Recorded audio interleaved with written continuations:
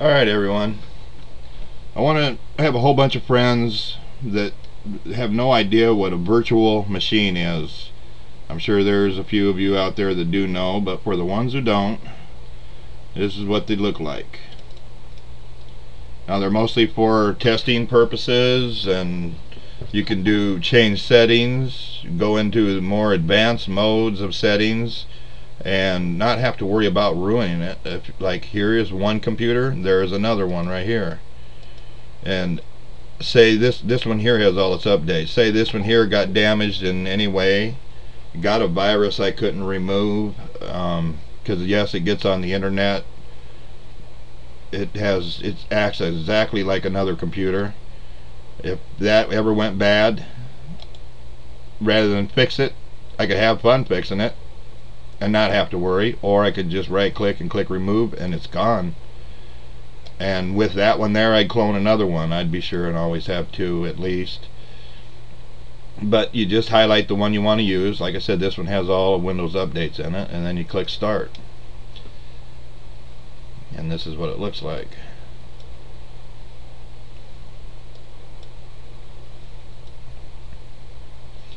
now they share the RAM. If I, I have a little over 3 gigabytes of RAM designated to my virtual machine but my host machine this one here it has 8 gigabytes of RAM so I'm using a little bit less than half.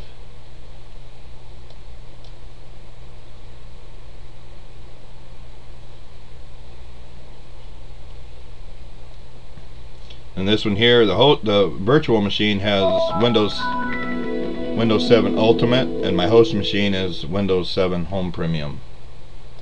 Now when it's open, everything on my keyboard works on here, my mouse works on here, the hard drive works on here. If I put something into the USB port like a flash drive, memory card, anything like that, it will activate on this machine too. Um, it gets on internet. Uh, see I got Google Chrome downloaded on it right now. Like I said it's a little slow. It's barely just a little over 3 gigabytes of RAM I'm using right now. I got it set for home for Facebook there. But maneuvers around pretty good. There's face there's YouTube and it's got Internet Explorer everything in the start menu is the same. It still has all your programs. You got Windows updates. I've already installed all of them on this one. You can create restore points. Um, you can restore it to an earlier time.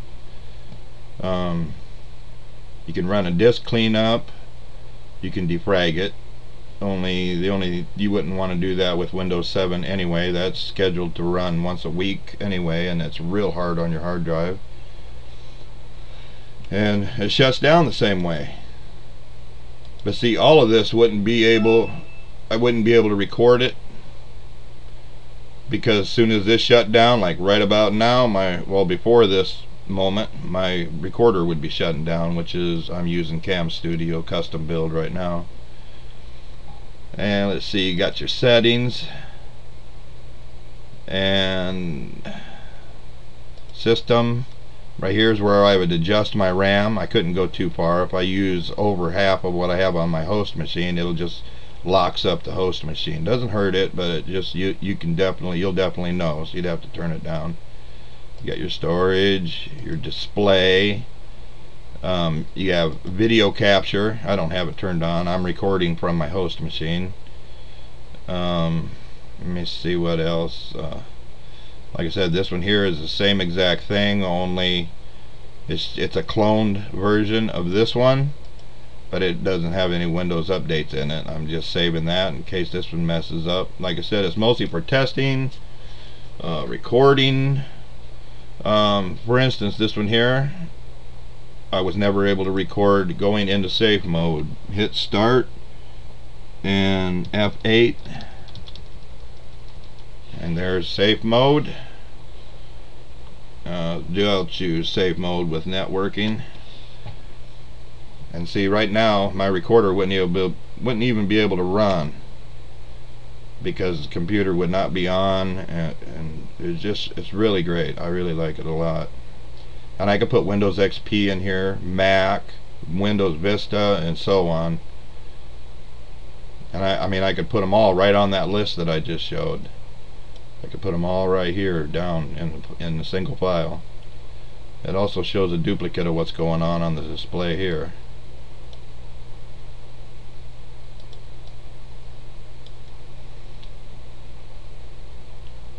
But if you ever got a really bad virus or even BSOD they call it blue screen of death. You turn your computer on it has such a bad virus you don't see nothing on the screen except blue. Well this is how you go about it. You hit the start button and you push F8 over and over and then you select with your arrow keys on your keyboard you select safe mode or safe mode with networking. Now safe mode with networking it only uses Microsoft startup files and it ignores all the other ones which is most likely where your virus is settled in at.